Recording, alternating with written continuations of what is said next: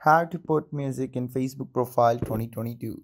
In this video, I'm gonna show you how you can simply put music in Facebook profile in 2022. So first of all, you're just going to go into the Facebook option or application on your mobile phone devices. Once you get there, you just have to go into the, your profile that is at the top left corner of your screen. You once go there, just have to tap on the three dotted bar option that is just beside that edit profile. Once you tap on it, a new page of our profile settings opens up and you go into the search profile. So once you go over there, in the new page, you're going to find music. Once you go into the music, I already have this one.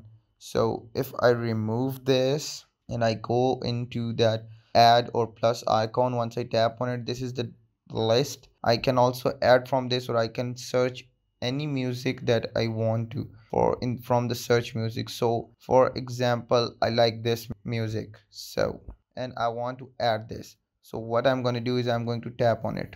Once I've tapped on it I'll wait for some time. And after some time I'm just going to recede and once I go into the back page I see there it is. So the people who are added on Facebook with me they can see my music. So this is how I do it. This is how to put music in Facebook profile. I hope you guys liked the video and enjoyed it. Don't forget to like comment share and subscribe on my YouTube channel. Till next time peace